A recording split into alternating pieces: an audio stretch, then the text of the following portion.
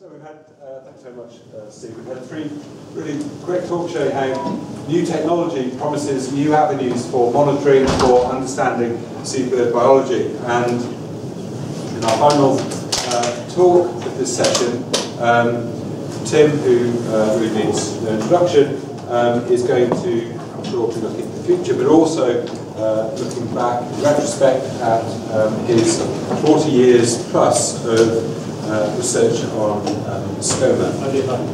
If he can make his talk. Uh, is, is sure it's on that one?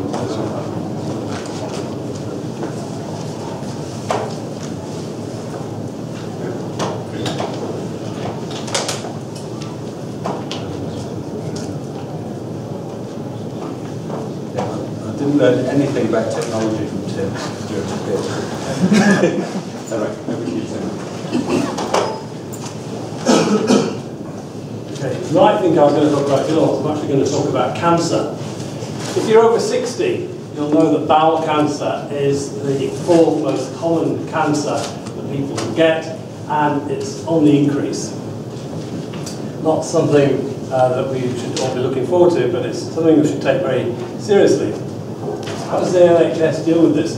Well, until recently, they just waited until people turned up at A&E and uh, either they gave them an operation or they died, um, and that wasn't terribly satisfactory. In the last 10 years, we've adopted a slightly more sensible scheme, it's called monitoring, and it's a screening approach. Uh, it was costly to set up, but provides an advance warning and the ability to respond in a very uh, positive sort of way, so there's much less trauma in the system and people lead uh, a better quality life, and it's had a dramatic effect on the way people um, age, I suppose.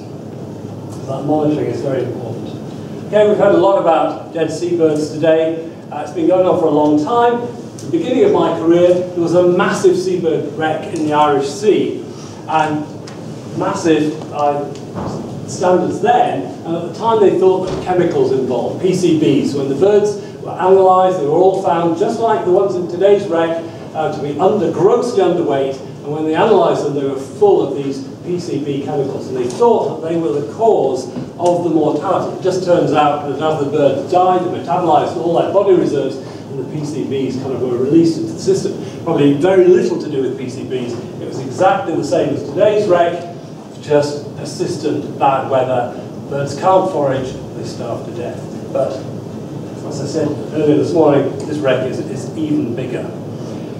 That 1969 wreck followed hard on the heels of probably the biggest oiling incident with the Torrey Canyon, uh, with, with 30,000 uh, dead birds. And it was because of that that Chris Perrins, who spoke earlier today, and David Lack, his colleague, decided that something should be done. And both then and now, people care about seabirds. And what happened then was that Chris initiated some PhD studies, including mine, um, to start to try and look at what, how, how seabird populations work. And it seems amazing now that in 1970, which was when I was about 20, we knew almost nothing about seabird biology. We know so much has been has made, made evident today, but then we knew almost nothing. And the remarkable thing is that much of what we did know came from Skomer, from this guy, David Saunders, the first warden of Skomer. And he had this brilliant idea of counting the seabirds on Skomer. And that was really the beginning of, of sensible quantitative monitoring. And this is um, a graph um, of his counts of guillemots. So he starts in about 1963, the numbers are reasonably high, and then of course the numbers start to fall, and it's fairly obvious why they started to fall. That's the Torrey Canyon, that's the Irish seabird wreck. There's a little bit of a recovery, and then it kind of levels out at a, at a new low level. Chris initiates his PhD, and I'm given the task of sorting out guillemot uh, population dynamics. One of the aims of my uh, PhD to understand what determines the numbers, measure adult survival, age of first breeding, breeding success, chick diet, feeding rate, blah, blah, blah. and a lot of stuff to do, but because we knew so little, it meant devising new methods, um, or devising methods to measure these things. So as Chris mentioned earlier, well, when I started, you could go onto a cliff and count guillemots, which is what David Saunders did.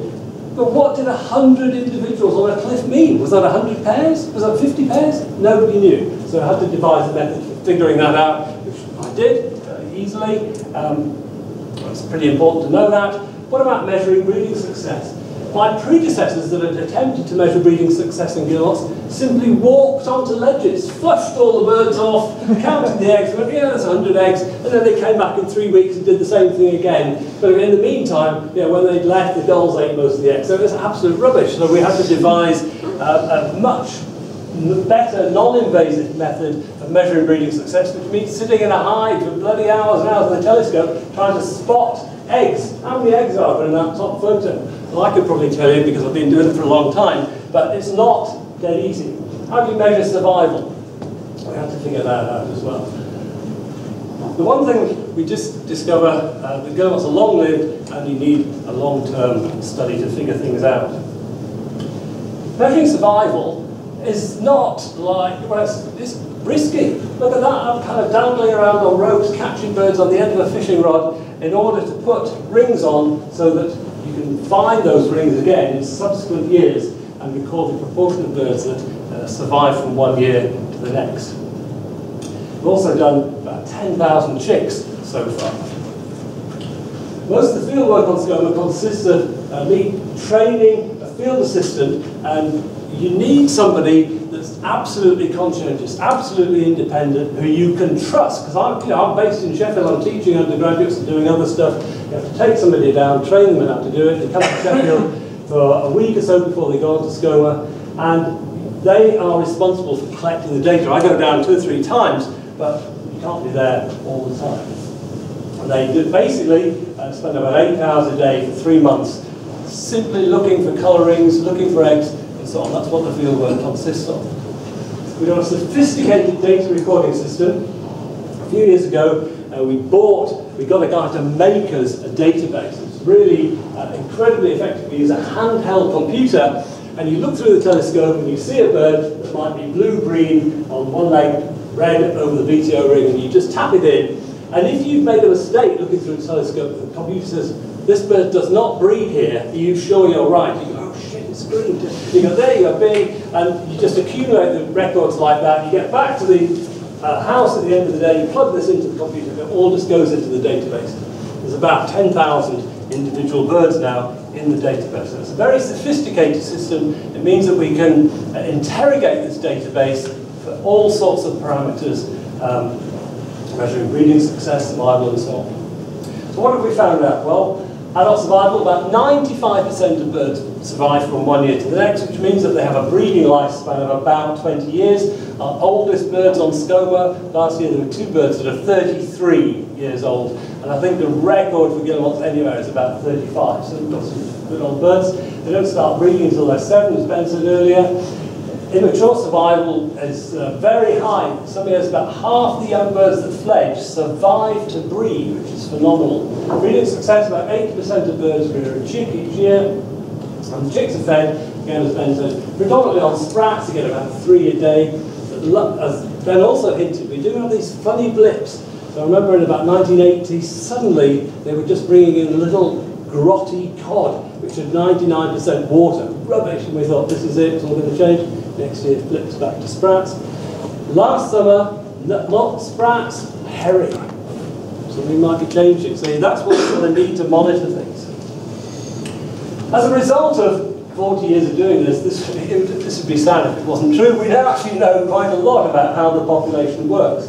And the key to keeping numbers up is the survival predominantly of adult birds, but also the young birds. We've also found that adult survival has changed, has declined with climate change. So that North Atlantic Oscillation that was mentioned earlier, the greater the scores of that, the lower the survival. That North Atlantic Oscillation is all about warmer, wetter, windier winters, which is why we had the wreck.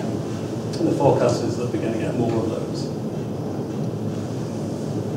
We also know that survival is greatly reduced by oil spills, obviously, the wreck, but sometimes these events happening at a long distance from Skomer.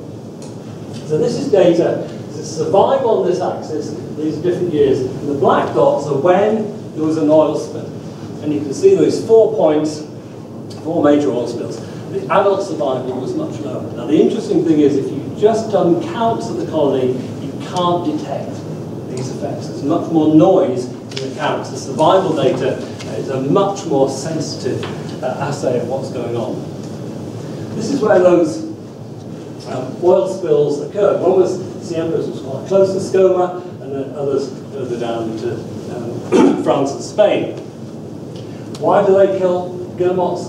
Because Skomer guillemots, that's where they winter. And we deduce that from a combination of a large number of ringing recoveries over the years, but also using the same kind of tracking that Steve's just told us about. So you need all these extra bits to allow you to build up a comprehensive picture. As I just said, um, counts only give you a relatively poor indication of what's going on. Survival data is much better. Despite climate change, despite oil spills, the Skomer population has actually increased since the mid-1980s. So, this is when David Saunders started, that's the Irish seabird wreck, and this is about when Ben started his PhD. So I did mine here when the numbers were fairly stable, the logic of Ben's PhD was that he would do the same kind of PhD as me, but on an increasing population. And as you can see there, uh, Guillemot population on Skomer has increased at about 5% per annum uh, ever since. You could say, if you were the funding body, if Guillemot numbers are increasing, why are we worried? Well, that increase is a relative one. There's the same data that I've just shown you, it's plotted on a slightly different scale, you can see there's a kind of 5% increase. In 1930, I reckon there was 100,000 pairs of guillemots on Skomer. So there's been a monumental decrease in numbers within kind of living memory. How do we know that? We know that because in 1930, Ronald Lockley took some large format photographs of the Wick, one of the main colonies on Skomer. These, the negatives to that were about this big, they're big, large format cameras. You can count individual birds, you can't see it on this composite slide that I've made, but you can count individual birds. And um, if you want a very crude index, if you've been to Skomer, that fault along the middle of the Wick um, in 1930 was continuous with birds, several metres deep in places, now there's still massive gaps. It's going to take a long time to fill. so although the Skomer population is increasing, in the past it was much, much bigger than it is now. It would be great to think that it might get back to that. There's a second reason why we should be continuing to monitor an increasing population Again, has been hinted several times today, Skomer is just one of a handful of UK colonies that's actually increasing. If you go to Scotland, it's a really sorry state of affairs. Um, climate change and overfishing perhaps has caused massive reproductive failure. Guillemots are intensely social birds and they help to look after each other's eggs and chicks. If there are predators around and there's a little chick on its own, they'll say, come here, they look after it. One year on the Isle of May when food was really short, the birds were so stressed that they were actually throwing their neighbours' chicks off the ledge to minimise the competition. There's a strong analogies with humans here under extreme stress. Next year the food supply was a little bit better, they started being nice to each other again. But they, in northern Scotland and in other parts of, of the UK, uh, food is, is short and birds are struggling. And the other colonies that I know of, Bempton and the Farne Islands are kind of doing okay. Skomer's just one of a few that's doing okay. And of course, if we ever get kind of improvement in the environmental situation, places like Skomer could be absolutely vital in repopulating some of these other damaged populations. So I just want to finish by having a, a hard look at some of the issues that I'm facing personally, having undertaken 40 odd years of, of Guillemot research and then discovering that my funding has been cut. So for years, Countryside Council of Wales have funded this Guillemot project, and then, as we heard earlier, that funding has, has been withdrawn. And the CEO of uh, NRW has said, in response to something that appeared in the press, that they would continue uh, to monitor guillemots on Skomer via JNCC. But whilst that's all well and good, the problem with that is that that um, monitoring simply means doing counts. And whilst if that's the best you could do, counts might be okay, but we know that counts are increasingly difficult to do on Skomer as the numbers get higher. Counts provide only a crude indication of environmental change, and they tell you nothing about the causes of those changes. So it just seems a little bit ironic to me when there's a tried and tested system based on 40 years of work that for a small amount of additional money you could have a very sensitive uh, method that identifies the causes and monitors things very closely. So it's a bit like the National Health Service saying, actually, we did have this monitoring program and it was fantastic. People uh, didn't die so often from cancer, but in fact, we're just going to revert back to waiting for people to turn up at the hospital. Finally, if we have to think about wildlife as a resource, then just a reminder, the Pembrokeshire Islands are the most visited and the most important monitored guillemot colony in Wales.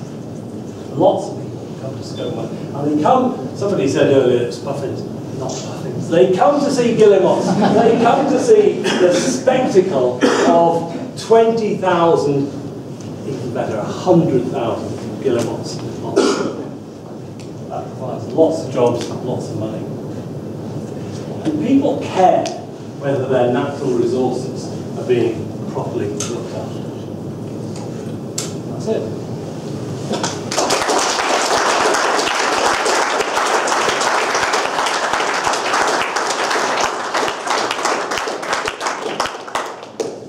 Any questions? Thank you very much.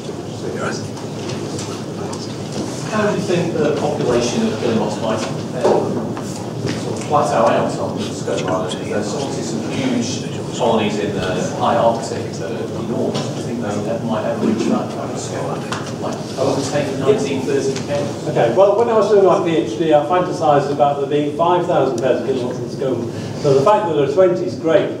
Um, it would just be extraordinarily good and exciting if there was 100,000. Um, I suspect that even before, oh, I suspect that before the 1930s, there were even more than 100,000 pets. And of course, we, we can't know that. I just think we're incredibly lucky in having those handful of negatives from Ronald Lockley that allow us to assess. Whereas like, it's well known that he wasn't very good at counting. Those photos, I could count, you know, 80,000 individuals on the photos, and Ronald Lockley came up with a figure of 5,000. I think he was just head in the clouds, head down a puppet it's worth adding to that, there obviously were those sorts of numbers of puppets too. Uh, there are enough old photographs to show that there were masses of them.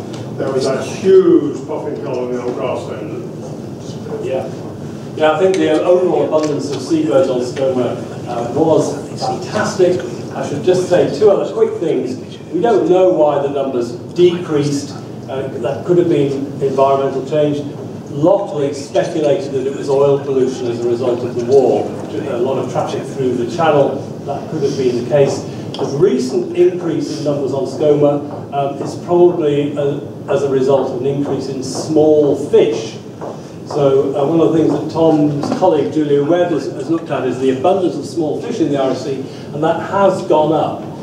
Now that could be a good thing, it could be climate change, but it could also be a bad thing, it could also be related to overfishing of big predatory fish, releasing small fish and increasing abundance. But we really don't know the underlying cause of that population increase. Yes. Um, no, it was a question I was going to ask about earlier data because you know, clearly most of modern monitoring kicks off between the 60s and 80s. Um, but I was thinking, uh, uh, linked to the question I asked earlier about um, fisheries going back 50, year, 50 years, a century and more. Um, it's very difficult to get a handle on exact numbers and the exact population size of the fish, various fish stocks, but it's pretty clear that most of them were probably 90% or so greater than they are now. Sure. Um, and you, know, so it, it, you don't need to be a rocket scientist to, to, to think there may be a link with the number of birds. But ha has any work been done to try, you know, with the, the best data and best estimates, um, that you can make of fish stocks and of ad hoc bird um, population numbers. Ha- Has there any, been any effort to actually... No, it's a good point. Uh, so- It's a good suggestion. It might be something that we should explore. Yeah. Do you have a question? Yeah. Yeah, we should have answered it. Oh, okay. Sorry, I kept my hand up. Okay, right, final final question. Um, do we know if there's much movement between colonies? Yeah, that's a good question. So Ben showed, it's actually that figure on the poster there, that that's our evidence that we, we understand the population pretty well, that we can model it, okay? And we model it, model it using those parameters that Ben listed. And one of the parameters, if you remember his list, was immigration and emigration. And that is the hardest thing to measure. And certainly some of our birds have gone to different colonies um, and we've had one or two birds from distant colonies. But because there aren't that many people monitoring guillemot colonies elsewhere, you, you end up with a very spotty picture of that. But the fact that, that our model works so well when we don't include immigration and emigration tells us that immigration and emigration is probably not very important.